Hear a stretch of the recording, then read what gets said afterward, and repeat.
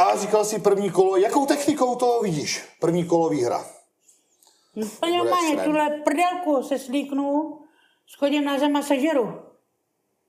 Přímo, jakože tuhle tu Během deseti vteřin je po. Tak já ti něco ukážu, jo, kočičko. No, prdelku ukáž. říkáš. Ty mi můžeš prdelku akorát políbit. Pojď. Ty vole, takový dobře, dáme sklidníme, kriminále se. dělali Sklidíme se, opravdu. sklidíme se, sklidíme se.